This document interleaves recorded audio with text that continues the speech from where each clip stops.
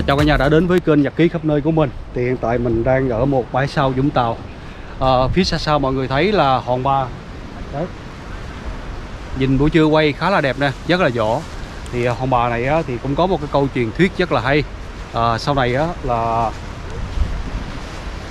thật ra nó bị phá một lần và từ năm 1871 sau được xây dựng lại hay năm 1971 á, được xây dựng lại. Thì à, mỗi tháng á, là có khoảng 2 đến 3 lần. Là từ cái bãi mình đang đứng à, nó sẽ hiện ra một con đường để đi bộ thẳng ra ngoài đảo đó luôn ra ngoài cái hòn đó luôn.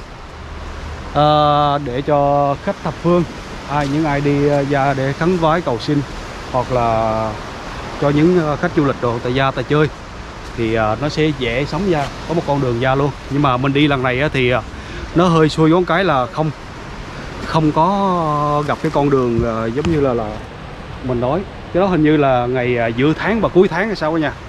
Cuối tháng có nghĩa là mấy ngày nữa mới tới. Từ cái bãi biển à, là những cái con thuyền và khi chạy qua là có một con đường lên trên đường lộ lớn. Ở đây thì có những cây dương à, gọi là cây phi lao để cạn gió đâu và những cây dừa. À, người ta trồng lại à, rất là hấp dẫn luôn. Cảnh nó nó hơi là nó vừa hiện đại hóa một xíu mà nó vừa hoang sơ một xíu. Nó tạo lên cái à, cảm giác à, đang trải nghiệm một cái gì đó rất là hay. À, các bạn có thể tới đây để mà à, xem à, để mà vui chơi gì đó thì tùy. À, này là hơi mệt ra đi nãy giờ hơi mệt.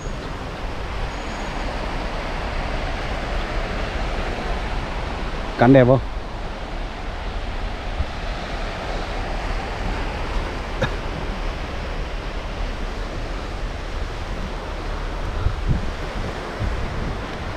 Bên kia là có một cái chiếc thuyền. À, chiếc thuyền đó thì không có sử dụng nữa đâu. À, cũng bỏ hoang rồi. Nhưng mà được có một ông chú ở trong đây á, là sử dụng để phơi quần áo còn ở ở trên hang kia.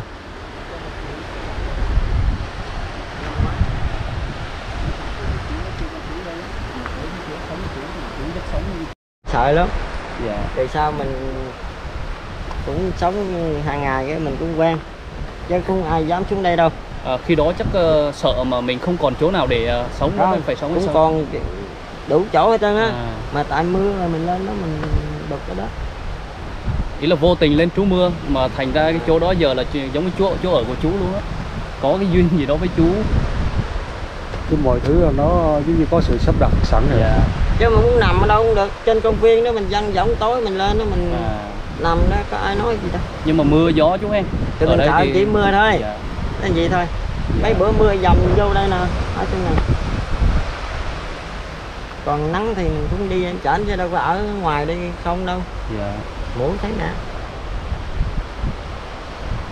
Ít ai mà dám sống như chú ở đây đâu. Mát mẻ quá. Không nhưng mà cái chỗ sống á, em thấy mà Đây, nếu đúng rồi.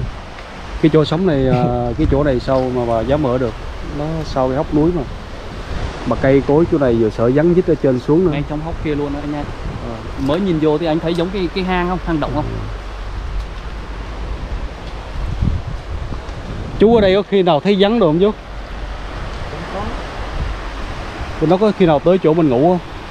Không đâu. Cũng hay ha.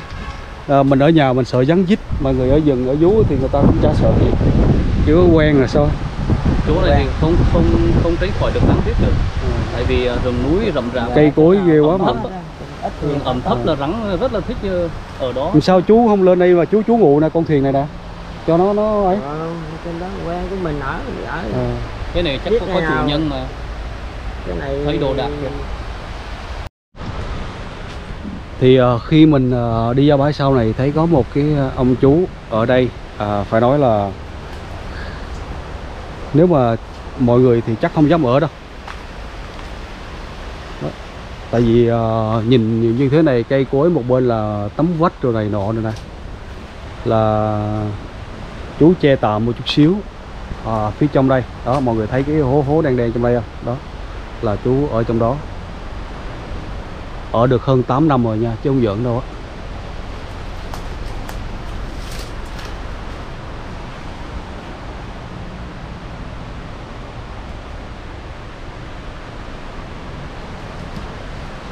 Cây này như cây nhầu nè.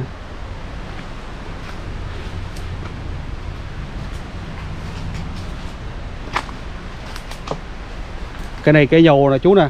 Cây dầu này là ngâm ngâm được ờ, thì vẫn ờ, đau nhức mỏi này. Đúng rồi. Cái này là trị bệnh ờ, đau nhức mỏi là rất là hay luôn cả nhà nha. Cây nhầu nè